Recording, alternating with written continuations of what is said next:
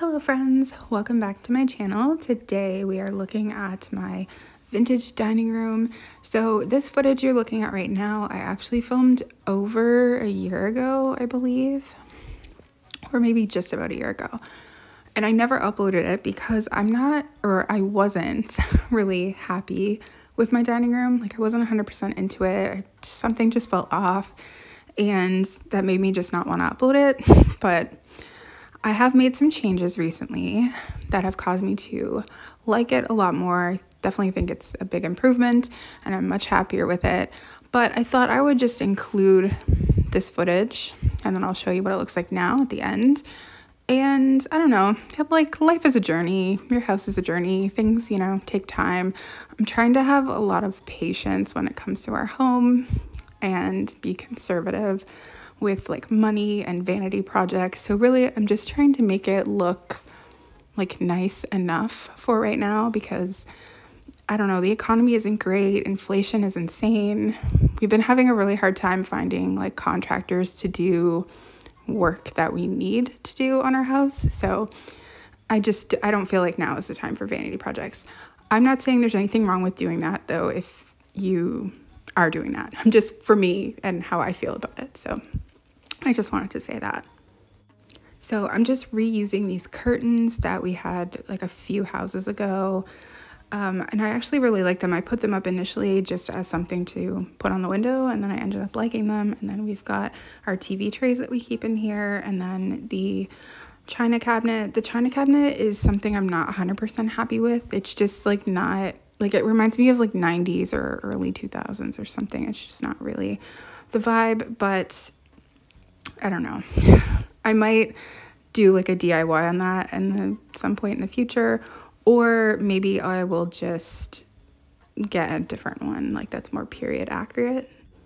I do really love having a china cabinet though, because I have china that is um, like sentimental and special to us. So I want to be able to display it. I don't want to just have it like in a cupboard somewhere where I don't see it. So these are just a few things that I keep on kind of the middle part of it that's open. Those glasses I got so cheap at the thrift store I worked at, um, but they're actually super expensive. So I feel lucky that I found them. And then the china that we have with three different um, sets. So this pink stuff is John, it belonged to John's grandma. John's parents um, gave it to him when they were selling their house. They were cleaning with their attic and asked him if he wanted it. And John was actually um, close with his grandma, like she lived with them for a while. So it's really special for us to have it. And then this china belonged to my grandma, who passed away when I was a kid. And my aunt actually sent this to me as like a housewarming thing when we bought the house, which means so much to me. Um, so I'm hoping that I can find more pieces. I just have four teacups and saucers and then four little, I guess they'd be like lunch plates or something, dessert plates maybe. And I believe this is called Oaklawn Maroon. And then this yellow stuff is stuff that we just bought um, a few years ago, but I believe that it's from the 1960s. And I think I take uh, video of the back of it, but we actually have a ton of this. We found a really big lot of it for like $8. And then I've since found more pieces as well. And then on top, I just have this piece of blue mountain pottery that belonged to my grandma that she gave to me. I think I've mentioned this before in other videos. And then this plate actually belonged to my grandma's mom, so my great grandma who I did know. She, she lived until her 90s. Um, so she said she wanted me to have that, which was really sweet. And then I just got another piece of Blue Mountain pottery to kind of match with it. And then this is our table. We bought this quite a few years ago, like before I started YouTube. Um, I think the owner said it was like from the late 60s or early 70s. And then I just have these two shelves and they have these little figurines that came in tea I believe this started in England and then in Canada. They were called Wade figurines, but some people call them, I think, like red rose tea because that's the type of tea they came with. You just got one and a box of tea. I believe that they may, might even still do them, and I think that they do them in the US now too, but it might be a different tea company. I don't know. But these are all fairly old and they belong to my dad's parents. So my grandma and grandpa, um, and then my dad and stepmom had them in their house. And then a few years ago, they sent them all to me um, for my birthday. So it was super special. So this is something that I really wanted to have on display as well because they're super sentimental and like important to me. And then these top ones are like newer ones. They started doing it again in the 90s. And then just like the other curtain, I just hung up these curtain, the curtain that I had in my old kitchen. They won't fit the windows here, unfortunately. And I just put it up when we moved in just to have something up there. But I actually don't mind them there. They kind of match with the walls and stuff. But um, I am trying to find more so that I can take those and then like cut them and sew them to fit the curtains in the kitchen because I do love them as kitchen curtains. So then underneath I just have this bar cart. This has been like the biggest source of frustration for me. I've tried setting it up a million different ways and I'm never happy with how it looks. So I think this is probably the main thing that frustrated me about this room. But this is just a bar cart I bought from Amazon. I was thinking about doing the black part in gold, but I never got around to that. And then I have this shelf on the wall with my salt and pepper shakers. I posted a video a few weeks ago sharing my whole collection and then also everything that was in that like pie safe that you saw at the beginning of the video. And then, so there is French doors in here that go into the living room. And then there's also a French door like from the hallway that you can walk in through right here. This is actually my childhood bedroom. I don't think I mentioned that before, but this room, it obviously didn't have the French doors. It was just closed off and had like a normal door. Also, this light fixture, hideous. I hate it. I did something different with it that I definitely feel much better about. But anyway, here's an overview of the before and then now we will get into the after, which I am much, much happier with. So I ended up taking the French doors off. So I took it off this door. Now we always kept it open, so it was always blocking the salt and pepper shakers. Like we never closed it. So I was like, why don't we just take it off and then that way it's not like awkwardly there. So because the door isn't there, I was able to move our TV trays there and I think it just fits the space nice. There's plenty of room to walk by and then now we can actually see the salt and pepper shakers not through a French door. And then I put this piece of furniture in here, which is an old, I believe it was like an old stereo. I got it when it was completely empty, but the speakers were like where that fabric is. But I love this piece of furniture. It's in a little bit of rough shape, but it was only $5 and it's actually vintage. Um, but it opens up and I just keep um, spare like blankets in there for, you know, when it's cold in the winter when we first moved in, I think I had it in the living room by the like entryway. And then I have these vintage candles and uh, candlestick holders, this kind of very fall plate. So I'm my house is decorated for fall, so you kind of can get a little sneak peek. We've got the little tiered tray there that I bought in the summertime. I still kept the same curtains up.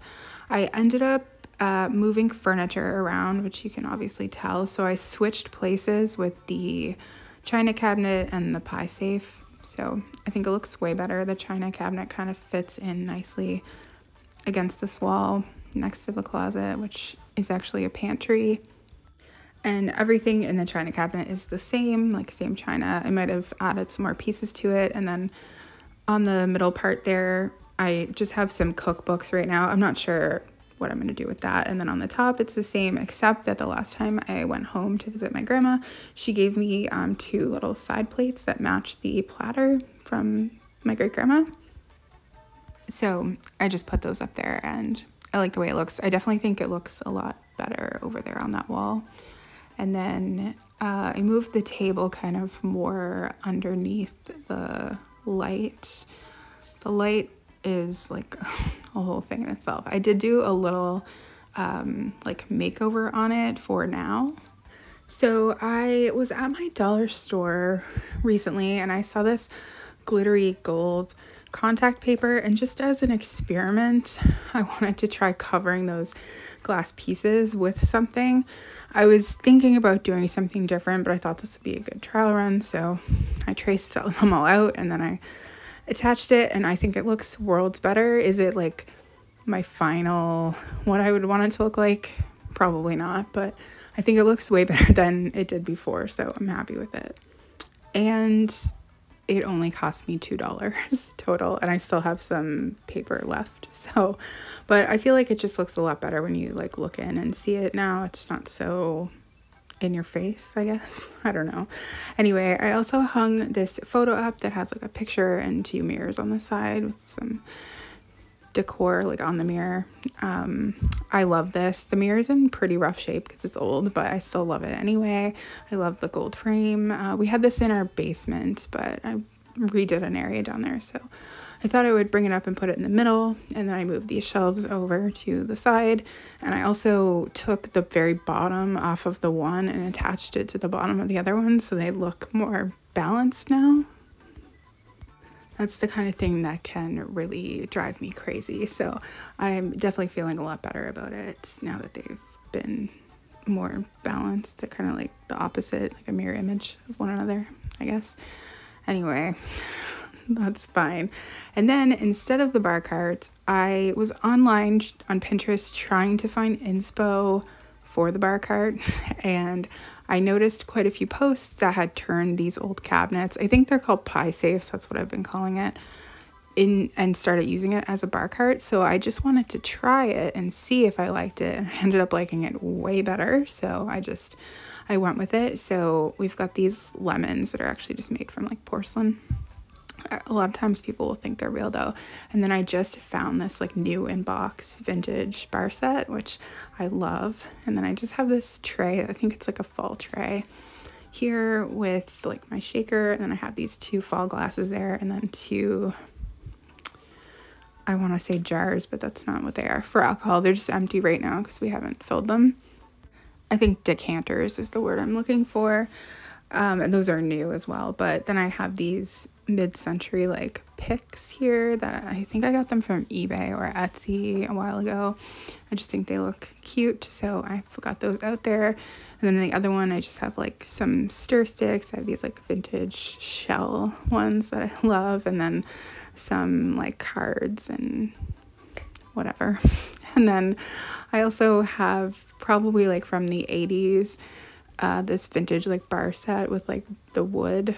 I think there's a wine opener, like bottle opener, and a few like utensil type ones. I really like them. They definitely remind me of something like my dad would have had in his bar in like the 80s.